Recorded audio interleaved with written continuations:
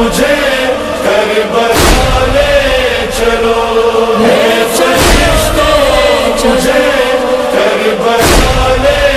चलो। आगे चलते हैं, आप देख लीजिए। आयतुल्ला मोहम्मद रजा महदवी कनी यहाँ पे दफन इनकलाब इस्लाम के अरकान में से इधर हम लोग चलते हैं इमाम ज़ादा ताहिर की तरफ़। इमाम ज़ादा ताहिर। इमाम ज़ादा ताहिर की तरफ़ चलते हैं।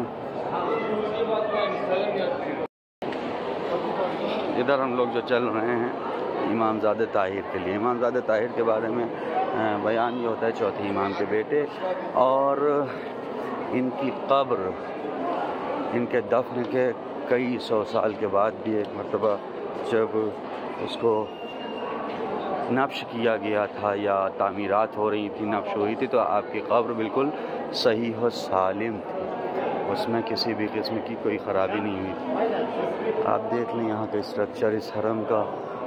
यह खूबसूरत हरम है।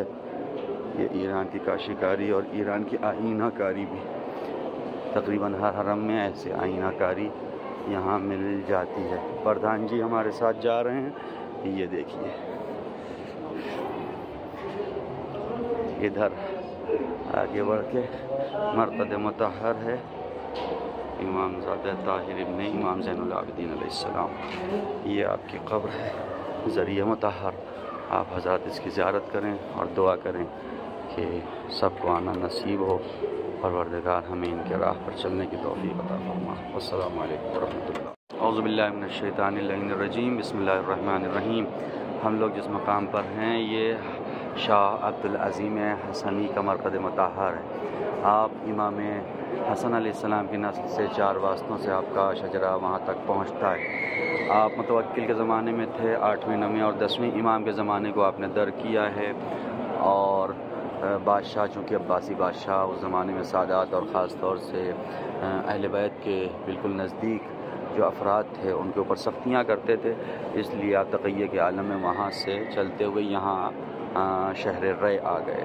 वही शहर रय, जो मशहूर शहर रय है, जिसके लिए उमर साद ने अपनी आकबत ख़राब कर ली।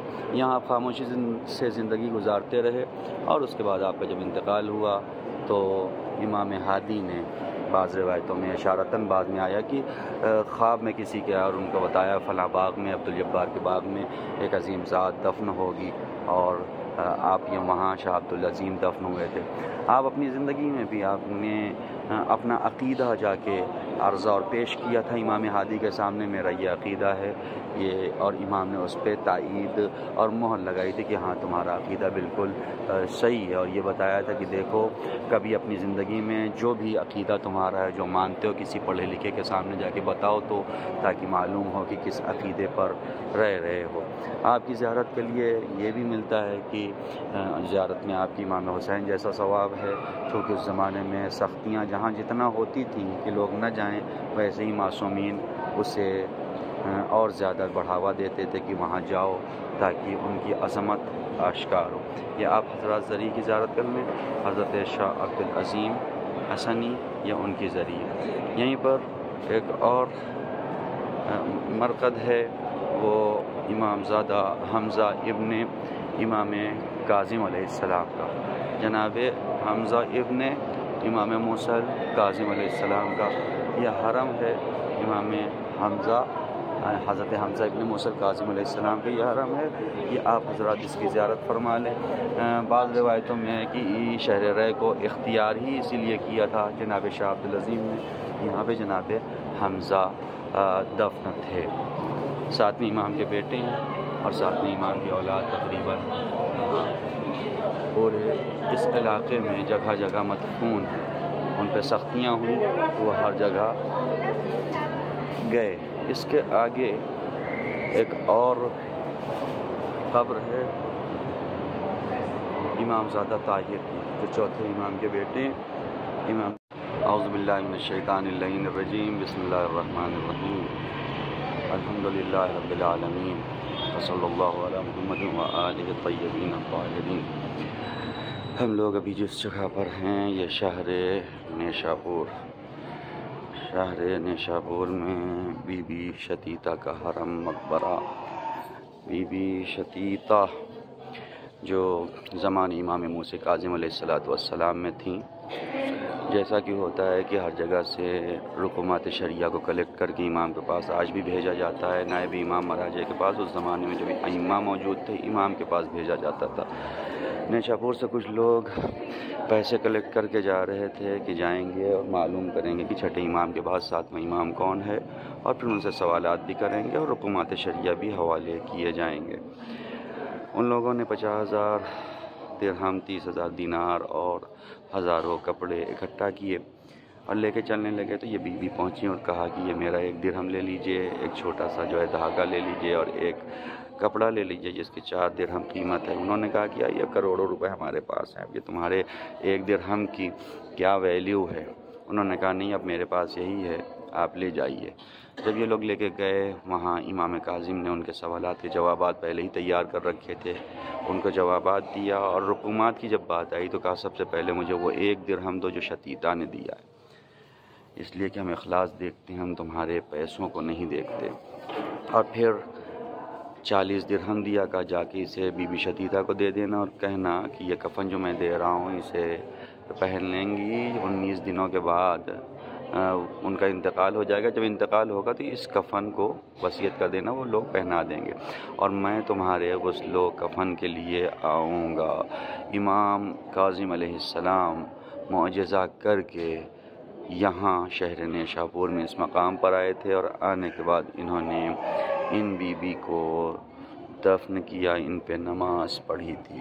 ये वो बाज़मत बीवी हैं, जिन्होंने खलूस के साथ अखलास के साथ इमाम की बारगाह में वो पैसे भेजे थे। परवरदिगार, हमें भी वैसा मुखलिस करार दे दे। अल्लाम वरहमल हौज़बिल्लिनशैतानरजीम बसमीम शार निशापुर में ये बारगाह मंसूब है जनाब मोहम्मद महरूक इबन जैद इबन इमाम सज्जाद सलाम से और एक इमाम ज़ाद इब्राहीम इबन इमाम मूसी काजिम वसलाम दो अफराद यहाँ पे दफन हैं, यहाँ पे इमाम रज़ा ने भी आके इन लोगों की ज़्यारत की है। इमाम ज़्यादा महरूक जनाब जैद के बेटे थे, इन्होंने ालिम के ख़िलाफ़ क़्याम किया और नतीजे में शहादत हुई। शहादत के बाद आपके जनाजे को जला दिया गया और यहाँ उनकी रात दफन है। सबसे पहले ये इमाम ज़्यादा इब्राहीम है। इमाम काजिम सलाम के फ़र्जंद। इमाम रज़ा ने आके इनकी ज़्यारत की है, यानी बरदर इमाम रज़ा सलाम। इधर आने के बाद अंदर इस तरफ़ इमाम ज़्यादा महरूक हैं। इस तरफ़ यहाँ पर देखें, ये इमाम ज़्यादा महरूक हैं। महरूक यानी जिन्हें जला दिया गया मोहम्मद महरूक नाम था। मोहम्मद नाम था महरूक यानी जो जला दिए गए थे। उनकी ज़्यारत है और यह जनाब जैद के बेटे इमाम ज़दा महरूक आपकी कब्र मुबारक। असलकम वरहमल वर्क अज़बिल्लिनशैतानरजीम बसमीम ये जो आप इमारत देख रहे हैं, ये इमाम रज़ा सलाम की एक निशानी है। शहर ज़बर ख़ान ने नेशापुर से 24 किलोमीटर दूर, ये वो इलाका है जहाँ जब इमाम रज़ा सलाम मामून के बुलाने पर मर जाते हुए रुके थे। और यही आसपास वो जगह थी जहाँ चार हज़ार अहल कलम ने आपसे गुजारिश की थी कि मौला, अभी तक हम हदीस मानान सुन रहे हैं, किसी न किसी से वास्ते के ज़रिए। फ़लाँ ने कहा, इमाम ने कहा, फ़लाँ ने कहा, इमाम ने कहा। आज आप डायरेक्ट हैं हम आपसे डायरेक्ट हदीस सुनना चाहते। हैं तो इमाम ने पर्दे को हटाया और कहा, जो हदीस इरशाद फरमाई, मैंने अपने बाबा से, इमाम काजिम से, उन्होंने बाबा इमाम सादिक और ऐसे ही इमाम अली और इमाम अली ने रसूल से सुना। रसूल ने कहा, मुझसे जब्राइल ने कहा, अल्लाह फरमाता है कलिमतल्लासनी फ़मन दखलासनी अमिन अमिन ऐसा कलमा है, जो मेरा किला है, जो इस किले में दाखिल हो गया, वो मेरे अजाब से नजात पा जाएगा। सारे अहल कलम ने हदीस को नोट कर लिया, सब मुतमिन हो गए, इस्लाम के सारे फ़िरक़े के लोग मौजूद थे। उन्होंने सोचा ये कि हम सब नजात पा गए, इसलिए कि ला तो सभी कहते हैं नजात सबको मिल जाने वाली। लेकिन इमाम ज़रा आगे बढ़े और आगे बढ़ने के बाद फिर पर्दा हटाया और सवारी के पर्दे को हटाया का वाला किन भी शर्त है व शुरूत है ऐसे ही जन्नत नहीं मिलेगी बल्कि उसकी भी शर्तें हैं व नाम इन शुरूत है। और उन्हीं शर्तों में से एक शर्त का नाम मैं यानी अली मूसर रज़ा हूँ। यानी इमामत के बग़ैर ये ला इलाहा भी फ़ायदा देने वाला नहीं है। फिर इमाम इस जगह पे आए वज़ू करना चाहा। तो पानी नहीं था, इमाम ने यहाँ पे एक चश्मा जारी किया, ये जो आप सामने देख रहे हैं, इसके नीचे वो चश्मा मौजूद था, अभी ताला लगा दिया गया और पाइपलाइन के ज़रिए से पीछे पानी की सप्लाई होती है, चश्मा हज़रत जो लिखा हुआ है, ये नीचे वो चश्मा मौजूद है, जिससे बराबर पानी बह रहा है। इमाम ने नमाज़ पढ़ी और उसके बाद इमाम इमाम ने वज़ू किया, उसके बाद इमाम ने नमाज़ पढ़नी चाहिए।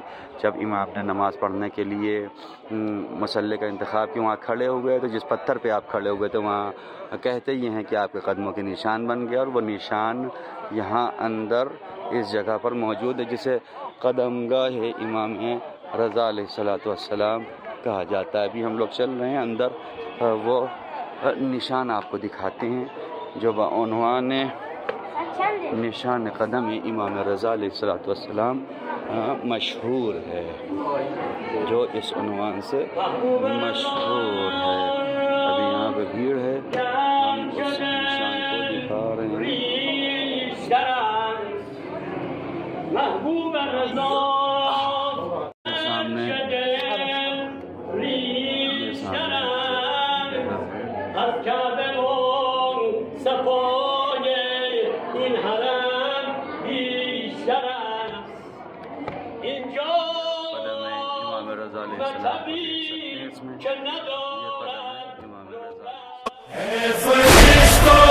मुझे कर बता ले चलो। मुझे